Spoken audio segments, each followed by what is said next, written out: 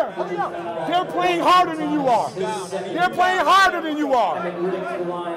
I think I have more of a love for the game than I do for actually coaching.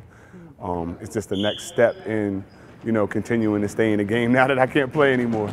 Well, I, I was fortunate to play for a lot of great coaches, so I have a lot of role models in that sense, and I think I've taken a lot from all of them. Uh, I played for Coach Jim Buonocore Sr. in football, I played for Coach Ralph Ruggiero in basketball, and I played for Gil Vargas in baseball. And um, I think I've taken a little bit of all of them. And I was fortunate to go to Trinity College and play for Coach Ogrodnik. If you show the kids that they, you care, you can almost say anything you want to them because they know that you care and you want to make them better.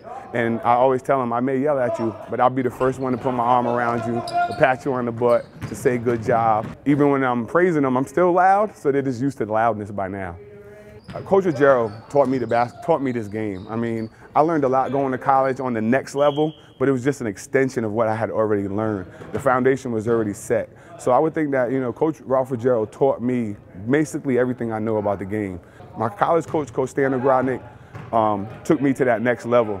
Got me to be more of an independent thinker and let me run the team as a point guard in college. Coach Troy's like the the loud one, the one that gets you going, the one that's more intense, like push, like the one that pushes you more, makes you want to play harder. Deontay! Deontay! Why?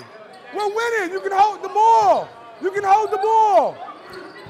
He's on always on the court jumping around. Coach Coach Dave, he, he he's like he could be like that sometimes. He can get a little loud. Coach Cornish is born and raised in New London. I'm born and raised in New London. Um, we've known each other since grade school. We only know one way, and that's the way we were taught when we played at New London. Um, so you play for championships, you play defense, you play hard, and um, you teach the game. And that was the things we wanted to do when we came over was to really teach the game, um, to motivate them, to bring a little swagger over here because you know the program I think won two games in two years.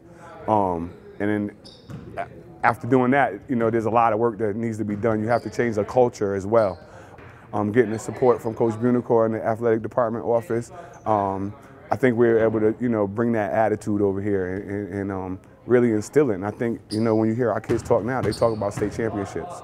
To be an assistant for Coach Cornish and to rebuild the program back from where it was, um, and, and when it put a banner up, since it hasn't been done here, would be absolutely phenomenal. Don't stop playing defense. What's wrong with you guys? You play to the horn sounds. Let's go. Play to the horn sound.